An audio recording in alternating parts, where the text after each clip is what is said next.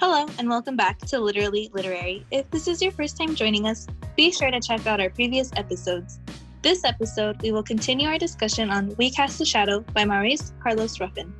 Last episode, we began the discussion on We Cast a Shadow, focusing on the characters, major themes, and connections we've made, as well as having been able to meet Maurice himself.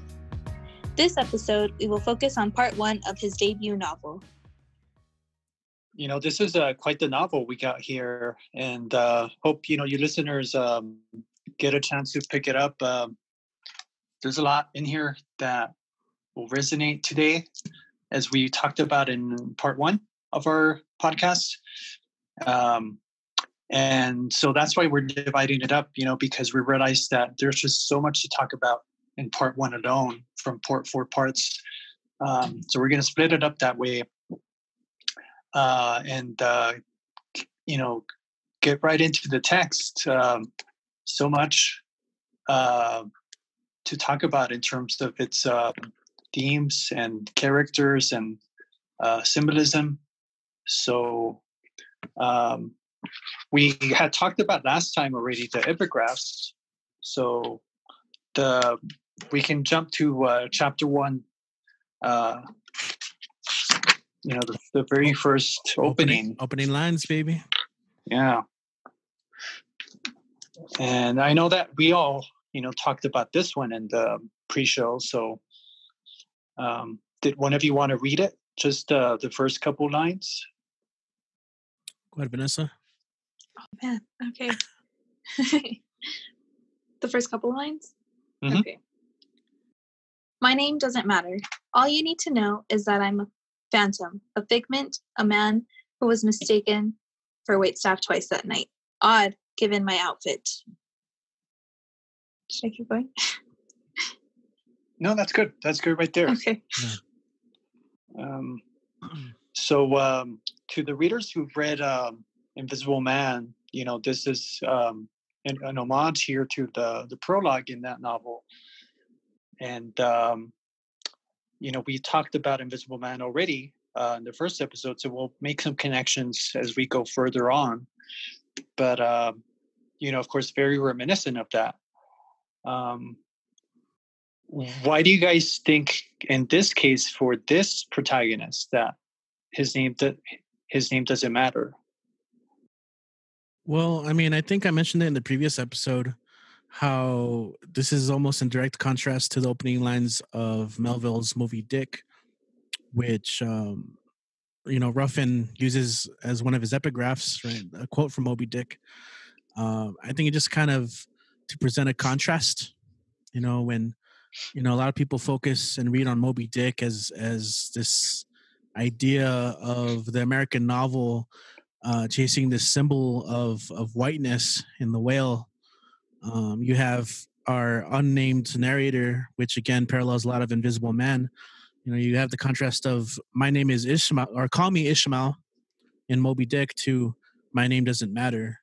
Uh, kind of almost as a first introduction of our narrator and how he feels about himself, which ultimately is, is a thread throughout the book on, as you mentioned in the previous episode, this idea of like the sunken place where he places himself Mm-hmm. society. Um, Yeah. it reminds me of that that uh, invisible man, uh, the lower frequencies. Yeah.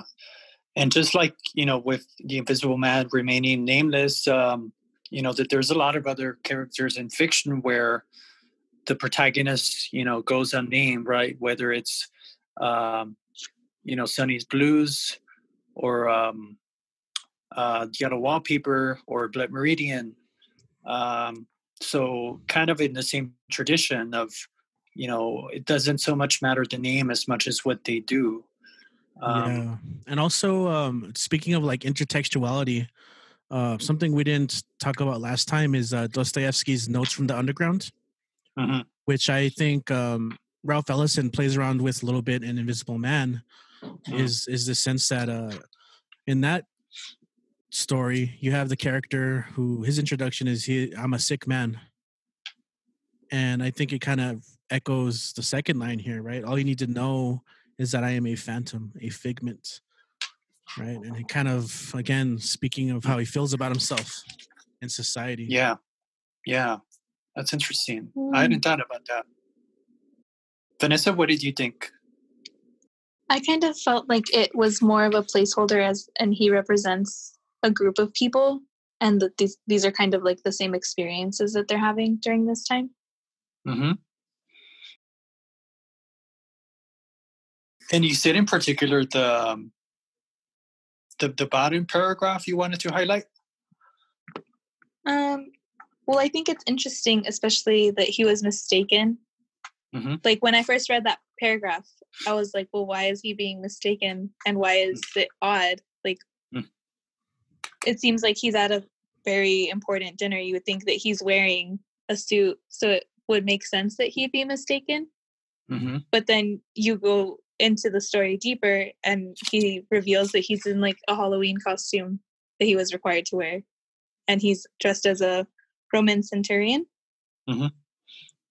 So then at that point, it's like, okay, well, why now are people mistaking him for being wait staff when he's not dressed like a waiter would be? Right. Yeah. Yeah, and even then, people go out of their way to to go up to him in that sense. Like he says, he's being a wallflower, trying to stay out of the way, and, and people are still, you know, Mhm. come with that intention. Yeah.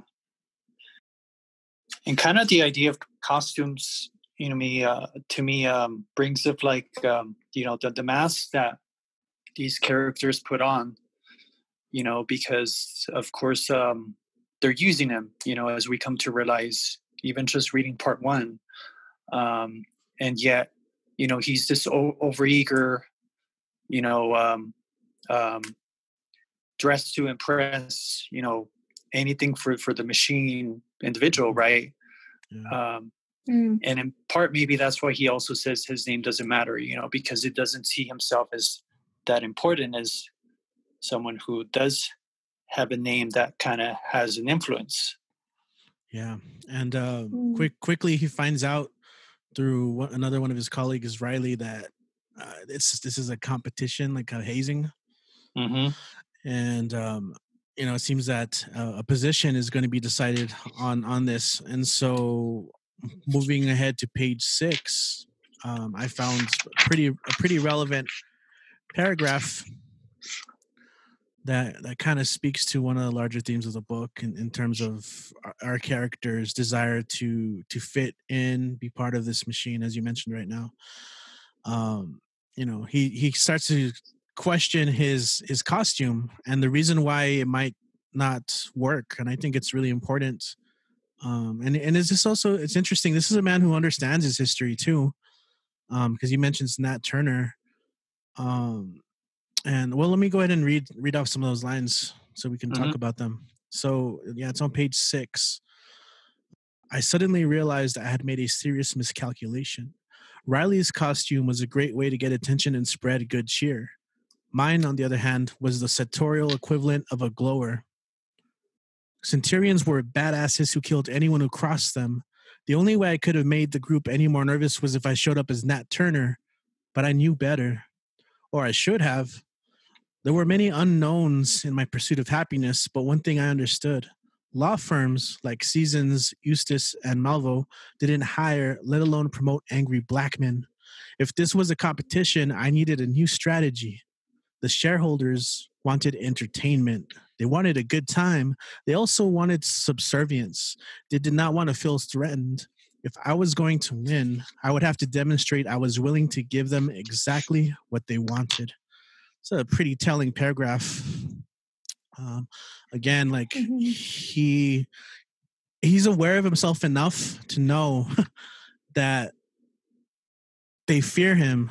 He mentioned this idea of like dressing up as a centurion, the symbol of, of someone who's a, a badass, you know, fighting caricature. And then, you know, they want maybe someone more subservient. He- Like I said earlier, he mentions Nat Turner, right, who, Mhm. who led rebellions. Uh, you know, if he was going to fit in with the law firm, he'd have to change his costume, essentially, right? He'd have to fit in Mhm. or wear a different Yeah. mask. Yeah. And, and um, you know goes back to the um, you know i think we mentioned it in the in the in part one um the the battle royale right from invisible man that's also a hazing and um where just like you know the the the, the teenager in that one he feels like he's got to do whatever it takes you know to to please them um even if it means putting down others who are also black yeah with the promise of you know being accepted or or winning something mm-hmm. mm. And um it, i also found interesting and you know we talked about this in part one in terms of his profession as you know this go-getter but you know technically he's a lawyer right? But it's kind of funny you know reading the novel that there's not much like you know courtroom uh things uh, actions that he's doing you know? The, all this all these things are very like you know seem very working class right someone is like rising up as like maybe a legal assistant or what have you mm-hmm. Um, mm-hmm. so it also goes to show like how even though he's a lawyer right he's not getting that respect earned to him as you know mm-hmm. uh invisible man esquire you know whatever his name might be mm-hmm, mm-hmm. yeah and i think it's even mentioned later on that um, he actually has a pretty good uh, pedigree in terms of his knowledge of law he finished mm-hmm. first in his class and uh, even though that's the case some of the some of even his classmates have been promoted above him before him and and there's this this kind of power hierarchy mm-hmm. right that we see built built up almost like a caste system. Yeah. Um, and so he kind of has the, the idea that you know he's he he's not going to win this right he's going to get fired um, did you all have another passage like around this chapter area? No. Um, i'm on page 13 oh okay. Well my next one is. I don't know if you have one before that. No, not me. Oh, okay. Well, I just wanted to touch on the first paragraph of chapter two, just because it kind of gives you a better idea of like the setting and where the story is taking place and how things have kind of started to become more segregated. Yeah, the um, you know, unlike Tico, which is the like a housing public housing development you know that that is extremely um, you know oppressed because it's all this black segregated neighborhood here you know everyone else is white you know and um, it's kind of kind of interesting how you like you said historically you know he kind of mentions well a little bit history of like how this whole city started you know and um, for city is here is kept like as a generic area but it's kind of uh, it kind of shows a lot of like how people are are uprooted from their neighborhood you know mm-hmm. because mm-hmm. of like um, um, redlining or you know discrimination in in terms of housing you know not not selling to certain people uh, of color and things like that mm-hmm. Yeah, he even mentions the yeah, you mentioned the history, talks about the mm-hmm. also Pelea Indians uh, from the area uh, mm-hmm. once inhabited the area but were pushed out by the immigrants coming from Europe. And then and you mentioned right the and again, this is it's interesting. The narrator kind of knows his history in this mm-hmm. sense. And then even then still kind of has his opinions on the way he does. Um, but yeah. yeah we we pretty much established that in this neighborhood he, he, says right except for me and my half and the way he says it half of my son there were no other blacks in our neighborhood mm-hmm.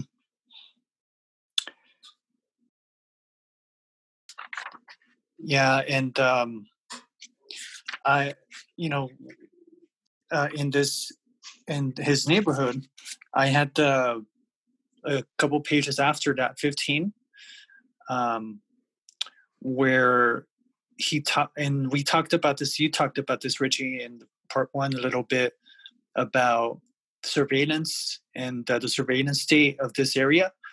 Um, the way that he conceives of it uh, is is in a way that he thinks this is for the good of like the black community, right? When you know, of course, anyone who reads this now, we see this satirical element come in. Um, so I'll just read it. They're safety patrols, not surveillance vans, I said. Uh, and yes, it had cameras and infrared devices. Um, but the vans checked in on any neighborhood where Black folks live to monitor vital signs. Lower heart rates suggested barbiturates, elevated heart rates meant conflict. Uh, it was for our, that is, Black folks' own good. And when I was growing up, it wasn't uncommon for people to attack us in the streets. And I just thought it was very interesting how it's the euphemistic uh, way of him referring to sur- the surveillance militarized states that he's in uh, in this in this city, and um, how you know these things that they're doing to the black community are really just another way of like you know keeping them put him in it, you know under the jail right and um, uh, of course he sees it as, as a good thing um, but um, yeah just one of those that really struck me in terms of how how in the living conditions that he's in mm-hmm. yeah mm-hmm. um definitely i i point i had this passage underlined as well um and it definitely reminded me reminded me of that orwellian uh presence of you know monitor and and this message of of it being for your own good uh which is often kind of used in to apolo- not to explain ex- increased uh, presence, um, police presence, and uh, you know it's it's not unlike you know laws that we see today. You know that uh, like like stop and frisk laws that mm-hmm. have come to be proven to to allow kind of prejudice in terms of how how people are stopped in the streets you know i think it's been shown uh disproportionate in terms of people of color being the ones stopped uh, by police in these cases and uh, of course we i think we also mentioned that last line in the paragraph about um, uncommon for people to attack us in the streets and, and i can't help but think of the many the many names of of people killed by people who thought they were doing good or protecting the neighborhood when you know they were being extra vigilant or extra judicial you know going all the way back to, to you know Trayvon Martin or even even just recently Ahmaud Arbery you you have these realities right? Yeah i mean that, that we're living. You know that they're they're modern day lynchings uh, that you know um, uh, shows that you know we haven't come far from you know the days of of you know um, of, of, of you know slavery and and uh, segregation mm-hmm. um, and here you know kind of the sci-fi angle is that kind of like minority report if you all have seen it yeah where you know they're they're also monitored in this way um, except that you know they have like uh, know Orwellian thought crime, but they call it they call it pre-crime. Um, is that you know the technology is only used uh, for against blacks, you know, as opposed to being used against everyone. And uh, of course, this is something that the narrator just accepts because he thinks it's for their own good.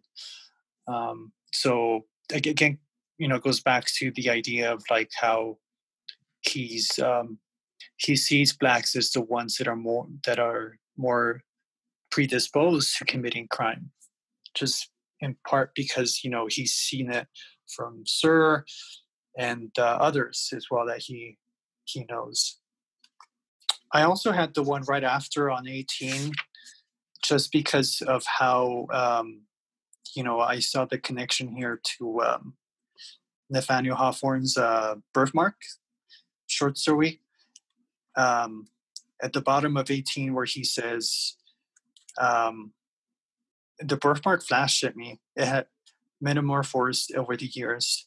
First, it had grown. By preschool, what had been a dot had spread to the bridge of his eyebrow.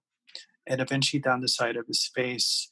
And it kind of keeps going and he compares it to um, the, the silhouette of the shape to the Wu Tang Clan symbol turned on its head.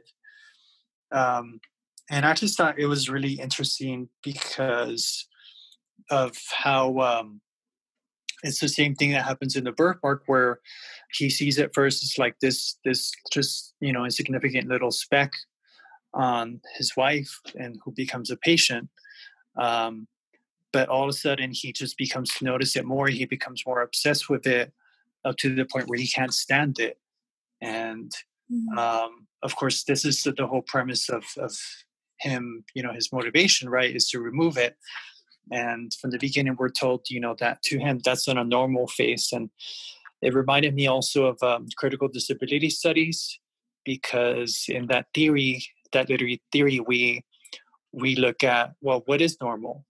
You know and many times you find that what is what is what is normal is really not normal uh, because it's just been perceived that way by the community or the you know the people in the story. Uh, and sometimes you know what is considered not normal is really what is truly normal. Um, so you know this is the case here. And um, you know this is really what to the reader will be jarring you know because uh, you realize you know this this kind of um, um, uh, what's his name? Uh, the, the, the the captain from uh, from um, Moby Dick. Ahab. Oh, thank you. Um, you know, just like Ahab, right? That obsession with uh, with the whale.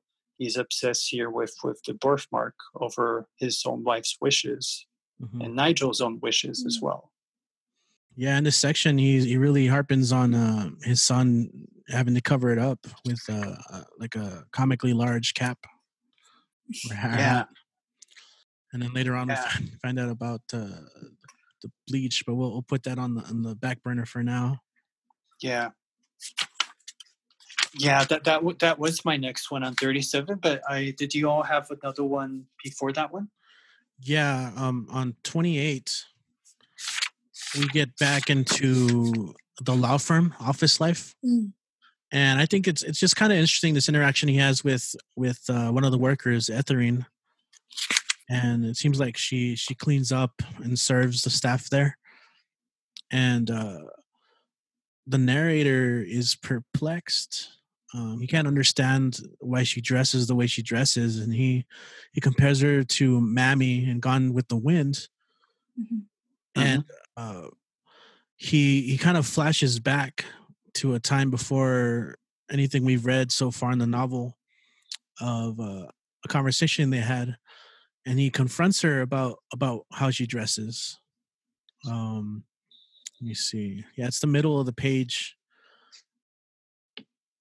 Uh, yeah, she realizes that uh, he's shaking her head, and he says, "I was startled because I hadn't realized I was doing it. It was nothing.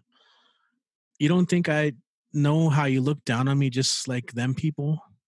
I'm just trying to go home. I know you," she said you think you're so fancy with your degrees and everything. I just don't know how you can dress like we're in the antebellum South. You think we ain't? She said. I got two daughters in college and a house that'll be mine after I pay out the mortgage. That's how I do it. She shook her head. You're wearing that suit, that fine suit now, but give it some time. They'll have you in a butler getup before too long. That's when you'll see. And that kind of even that goes back to the the first scenes of the book, right, where he's confused for the wait staff, and mm-hmm. you know, even though it's not not a butler outfit, they're kind of having him dress up to to get this position in this contest. And and and it's very perceptive of her, and all the more so, you know, because he, you know he's judging her, right, but it's really her who presents a more accurate judgment mm-hmm. of of what things are really like. You know, it's it really is kind of like going back to the antebellum South. Mm-hmm. Yeah, and his actions and and something that's not talked about, we haven't talked about or mentioned yet is uh, his interracial marriage. Mm. That um, there's a point made that it just doesn't happen as it's not as common now in this society in the book we're reading. hmm and and Mhm. unfortunately, and uh, unfortunately for the narrator, he under he says he understands why by looking at his son, which is uh, kind of a Mhm. sad indication of the you know his, his the narrator's concern for his son's birthmark. Yeah. And, and it goes back to, um, you know, again, how uh, Ephraim was referencing that, you know, we've gone back to the past, right? The horrible past. And, you know, just like kind of you implied there that what they called miscegenation, right, was outlawed in the South, you know, for so long and was, uh, you know, uh, an excuse, a pretext for lynching, you know, those in the black community. Um, and, um, you know, so just, just another example of how, again, in this kind of dystopian world, fu- futuristic world, you know, they really have gone back and, um, it's, it's, um, it's you know again you know that satirical element comes in again Mhm. did you all have uh, something before 37 Um, well, I just had on pages 34 and 35, kind of leading up to yours. Um, Mhm. So Nigel runs into a closet and he locks himself in there and doesn't let anyone like try to help him because Mhm. I he, well he's kind of being bullied by some of the other students. Mhm. Um, not necessarily because of his birthmark, but because of the way he's been taught by his father to handle the birthmark, which is with um, a bleach cream that's Mhm. supposed to lighten his skin. Um, and I think it's interesting to see the way that his dad and Penny deal with it separately. So his dad is basically ready to like bust down the door and like get him. Mhm. Whereas his mom Penny stands by the door and she's talking to him, trying to calm him down. And so I think it's really interesting to kind of see those two relationships as Hmm. like how they contrast from one another. yeah Mhm. Yeah i think it's a good foreshadowing of um, you know the arguments that they have and uh, ultimately how you know she finds out about what he's trying to do uh, to nigel Mm-hmm. so yeah i mean uh, a little after that uh, on 37 um you know he she so penny uh the wife um we've talked about it already you know that she's a white ally. And because of that you know she clashes with our narrator. Um but um at the bottom of 37 when she finds out that you know um, he had the madam cj's lightning formula um that his dad gave him he's he, she says you gave our son skin, skin bleach? Tell me you didn't give our son this shit penny like most people had different levels of anger cursing in front of her son meant that she was near the max level. The only higher level was where she se- separated my head from my body before driving a stake through my heart with her bare hands. What's wrong with you?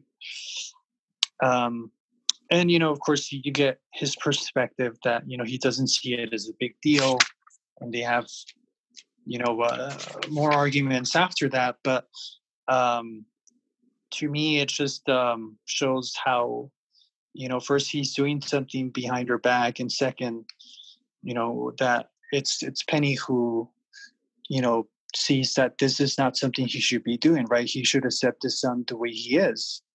Mhm. um and uh it's it's a, obviously like a big source of conflict uh, between them two.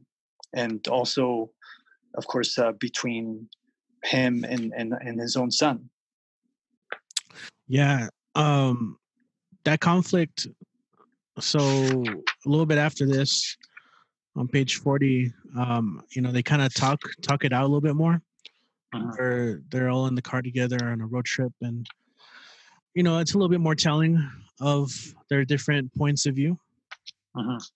mm, she kind of explains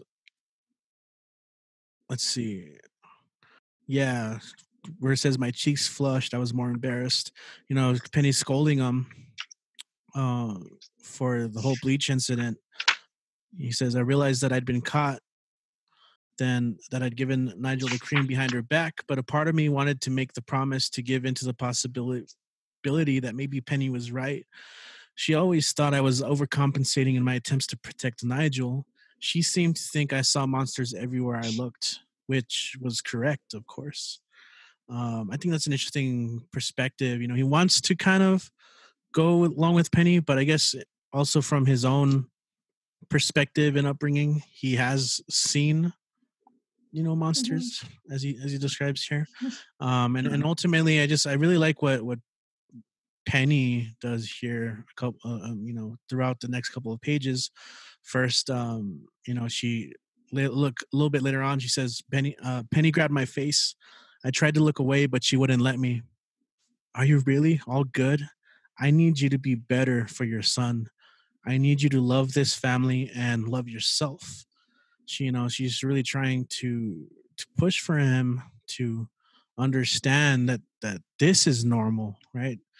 What the narrator considers normal isn't exactly, you know, it's kind of hurtful to to who they are, and and I think her philosophy is really captured on page forty one. This is probably like one of my favorite paragraphs early on in the book uh, where it says, I extended my hand. Um, and yeah, I just think it's a beautiful visual and, and kind of metaphor. Uh, all right, I'll just go and read it. Penny took out a blue permanent marker and drew a misshapen circle.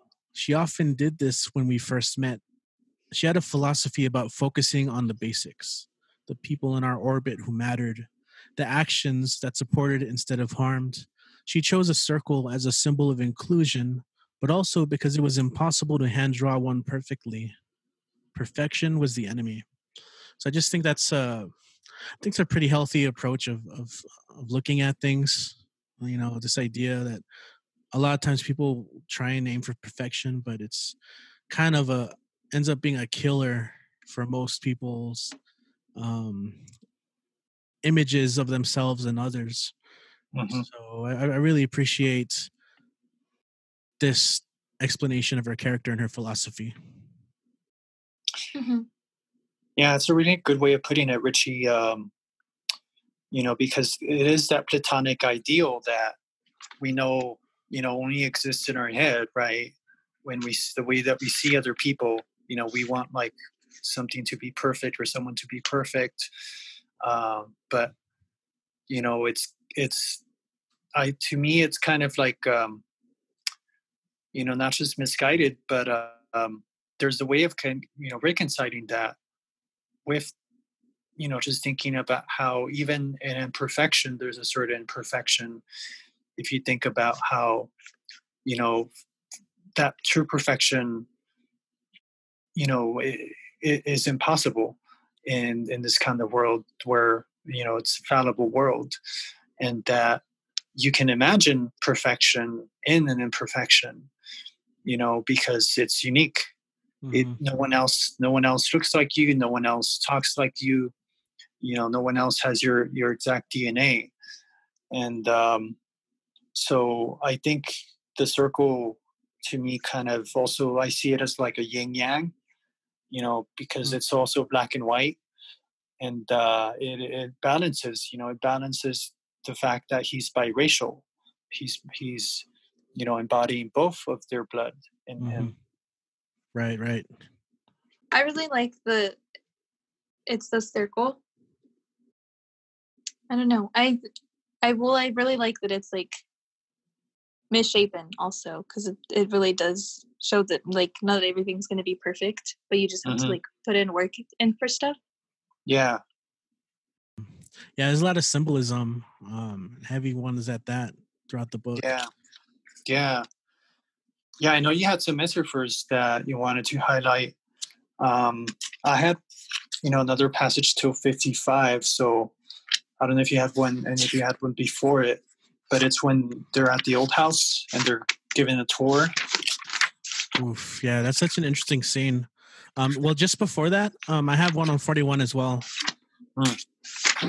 since since we're you know we're still there, um, and this kind of foreshadows the character of, of you know Mama, right, with his with his mom. Mhm. Uh, and I think it's really interesting. There's some interesting things here um, where he reflects on leaving Nigel with her, and uh, the narrator's fears of of uh, him being left out in the sun too long and darkening him. And uh, the language used here, you know, is is not without purpose. I think uh, she use, he uses the words "drying up" and "darkening like a raisin," which uh, to me re- recalls Langston Hughes' poem "Harlem." Mhm. which I mentioned uh, in the previous episode. I think uh, Ralph Ellison is responding to an invisible man, right? What what happens to a dream deferred? And you know, one of the lines is there: "Does it dry up like a raisin in the sun?" Mhm. And uh, and of course, invisible man being the answer to to the question, "Does it explode?" Which is the last line of that poem.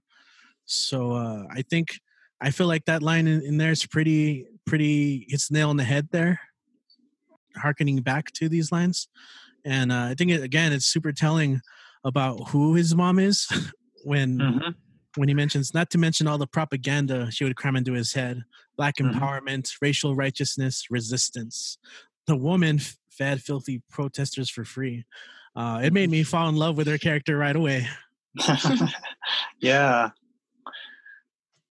Yeah, and, and kind of, you know, you had already mentioned this, but the Orwellian factor, right? That he's very much bought into this idea that, you know, these ideas are just propaganda. Which I think is a good seg into the, our next scene right in the plantation Yeah. Mm.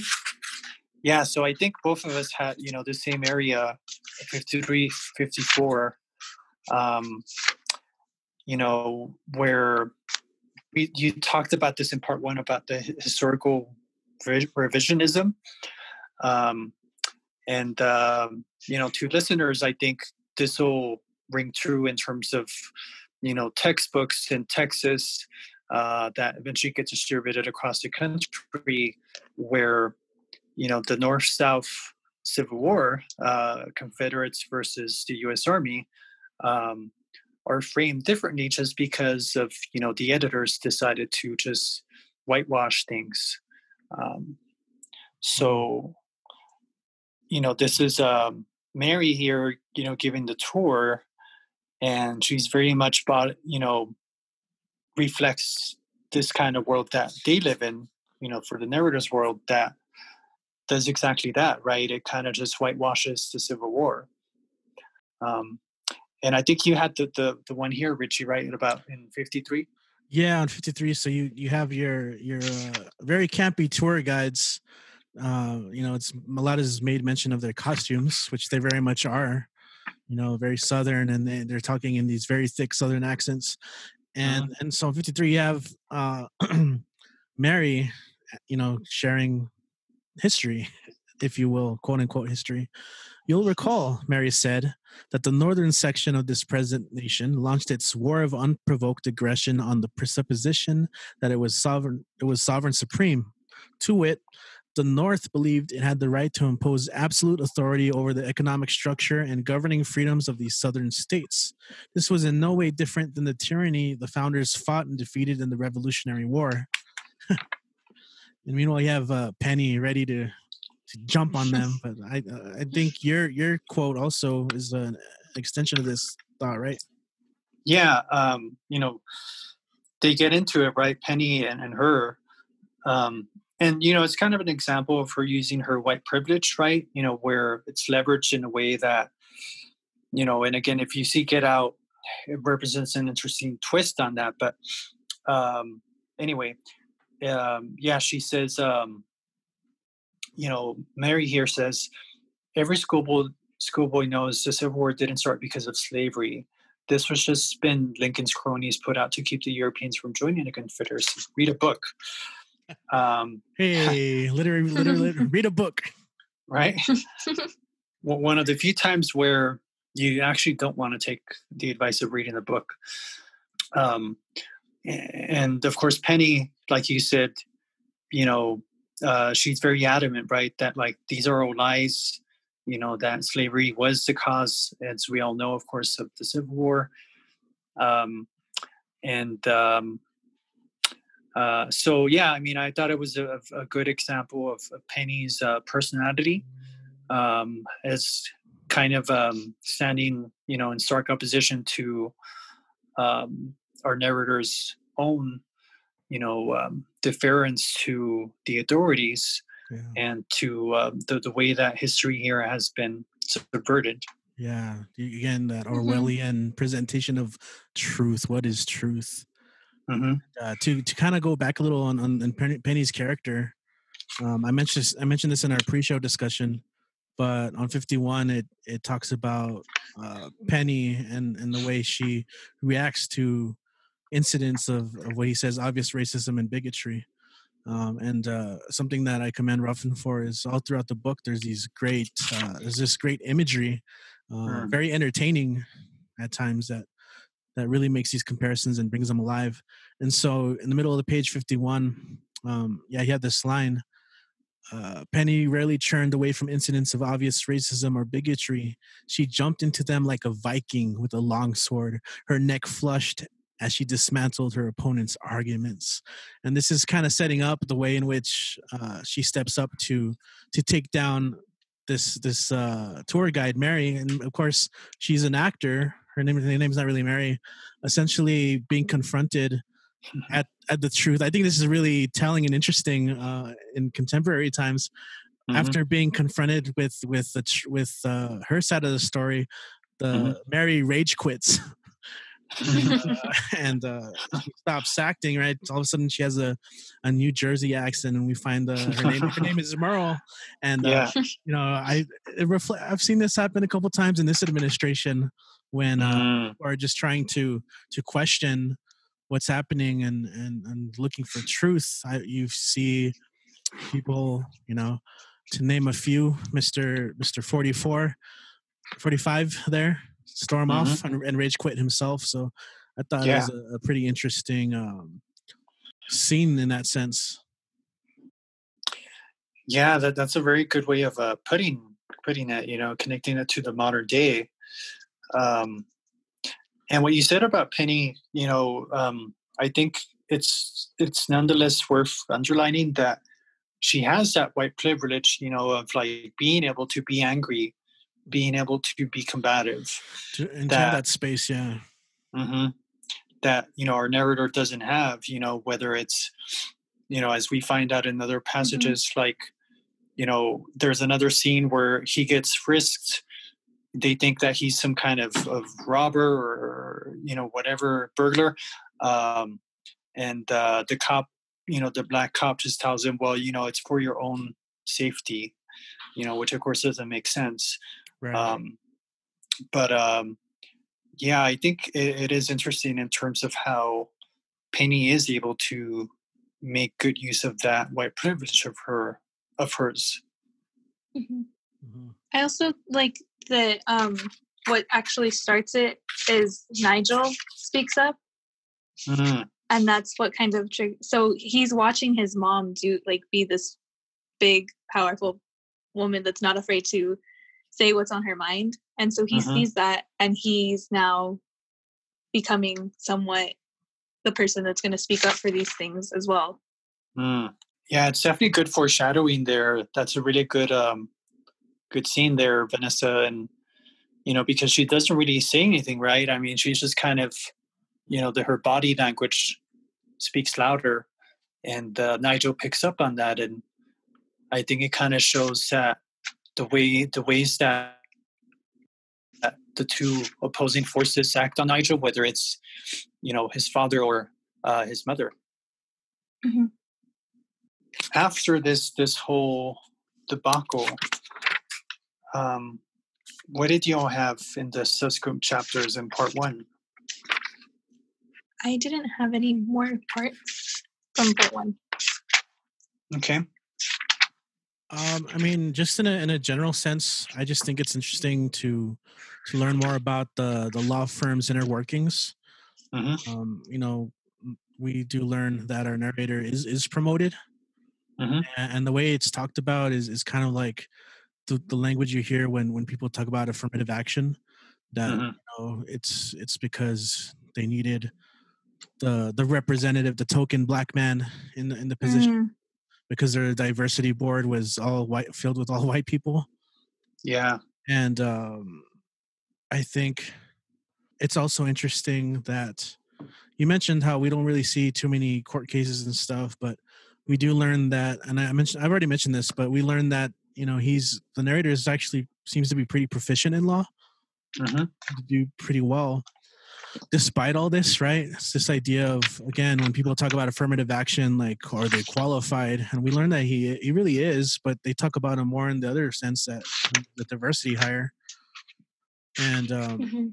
and ultimately you know thinking of power structures we learned that you know the law firm has its hands in in some sort of power dynamic in, in the entire region where Mhm. they're they're even trying to influence local politics right where they they uh you know they have plans to introduce some the mayor you know a mayor mayoral candidate Yeah, and that whole bit, you know, reminded me of the Brotherhood in um, Invisible Man. yeah You know that they they are political, and they're just using him, the Invisible Man, uh, for the same reason that Octavia um, is using um, our protagonist in this one.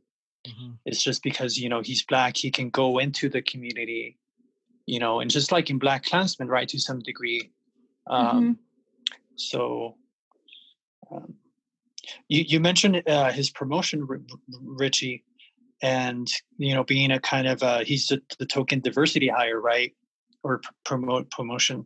Um, on 64, I just found it interesting though that even though he was technically promoted, he he wasn't actually he didn't actually become shareholder. That's right yeah. You know and so it's still Mm. one of the one of the ways that people of color are kept from actual positions of power right is just by saying well yes you're on this but there's this caveat. You know i think it's very common he's uh, for prov- something like that to happen. Yeah he's provisional as as it's stated. Hmm yeah. Um so it, it's very uh, precarious you know uh, position that he's in. Um and um but it's still something that he f- figures he can leverage to actually do this for his son right? And this whole thing you know he's willing to do it all just so that his son can undergo that me- pro- procedure experiment that uh, is his dream Hmm.